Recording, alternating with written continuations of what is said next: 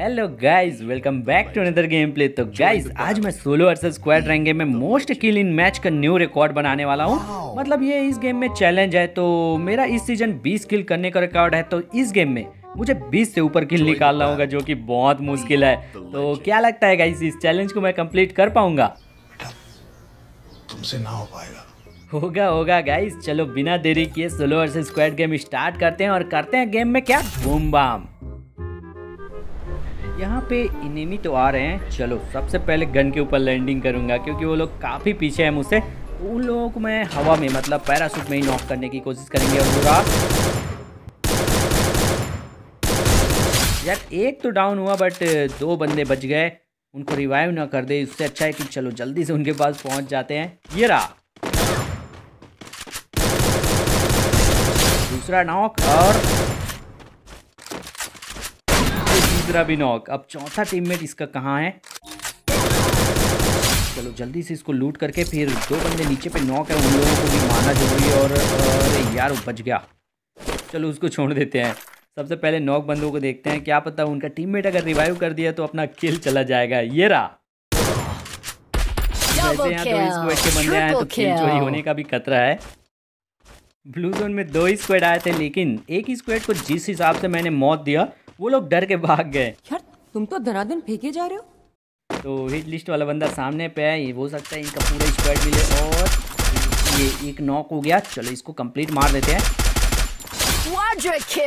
Okay hit list वाला बंदा कहाँ है? वो रहा।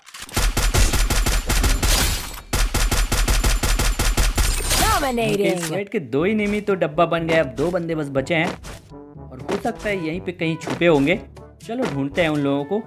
नहीं यार, मेरा पैर दुख रहा है। काम करता हूँ, यहाँ स्कैनर लॉन्च कर देता हूँ। फिर दिख जाएगा कि वो कहाँ पे आए कौन से खोपचे पे छुप के बैठे हैं? ऑल राइट गाइज़ यहाँ पे मुझे कोई भी दिखाई नहीं दे रहा है तो एक काम करता हूँ। वेंडिंग मशीन से हिट लिस्ट वाला ले लेता हूँ। फिर समझ में आ जाएगा कि कहाँ पे है नेमी फिर वहीं जाके मारेंगे। और वैसे भी मैं सोलो वर्सेस स्क्वाड खेल रहा हूँ तो एक साथ एक स्क्वाड मिलेगा। एक बार फिर मैं पहुँच चुका हूँ लिस्ट वाले बंदे के पास। उसको मौत देने, उसको लॉबी पहुँचाने। पूरा। भाई शाबिन का तो पूरा स्क्वाड है यहाँ पे। ओ माय गॉड तो आ गया। दूसरा कहाँ है जिसने मुझे मारा? अच्छा वो रहा। अरे नहीं ग्लू वॉल के पीछे है। एक काम करता हूँ, छत पे चला जाता हूँ। उसके बाद मारेंगे छत से। बोले तो छत से मारेंगे तो हेडशॉट लगेगा। भाई लोग। ओके इधर से भी फायरिंग का लोकेशन आ रहा है।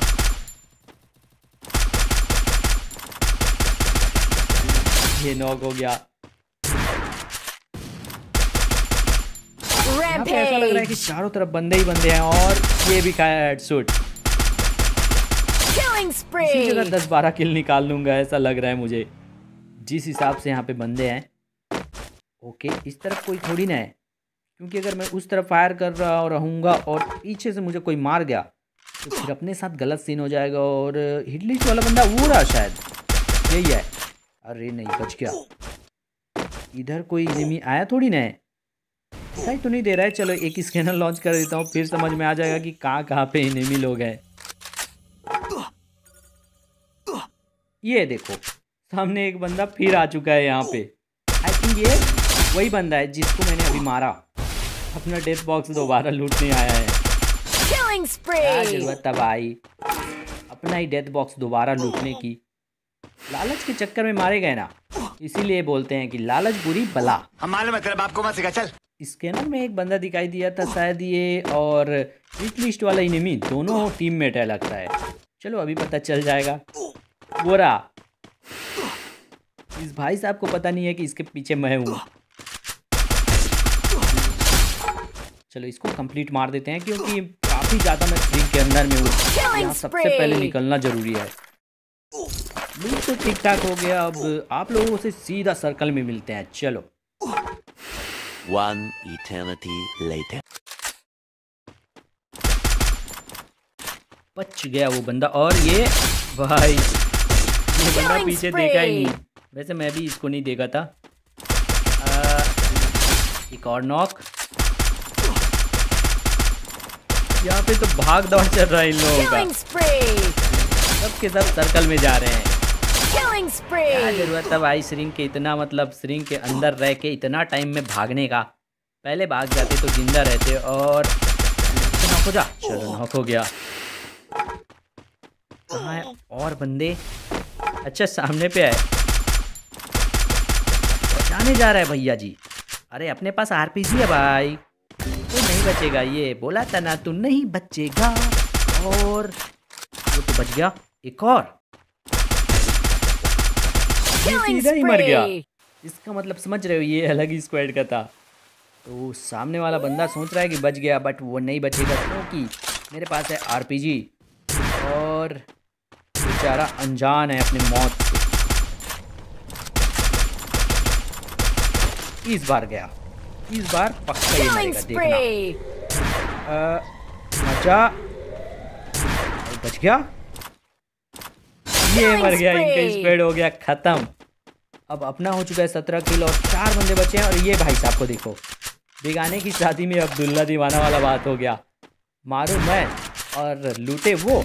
ऐसा नहीं हो सकता भाई। चलो वो भी डाउन है तो इसका टीममेट ज़िंदा है। ओके कोई फायर कर रहा है मुझ पे? शायद वो ब्रिज के ऊपर है।